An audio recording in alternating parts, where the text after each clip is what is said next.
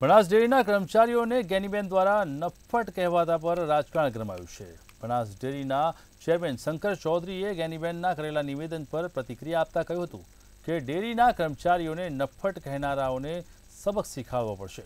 પશુપાલકોને મતદાન કરી ગેનીબેને સબક શીખવાડવા અપીલ કરી છે.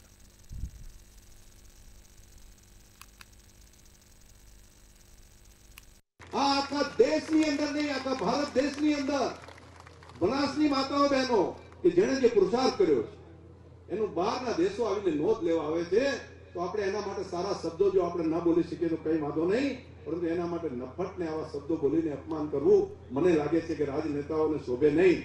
એમને જે રાજનીતિ કરી હોય કરે, પરંતુ માતાઓ બહેનોનું જે અપમાન કરે છે એ બાબત ઠીક નથી. તમને આ વાત ધ્યાનમાં આવે છે બધાને બહેનો? આ જે બોલે છે સારું નથી એવું તમને લાગે છે?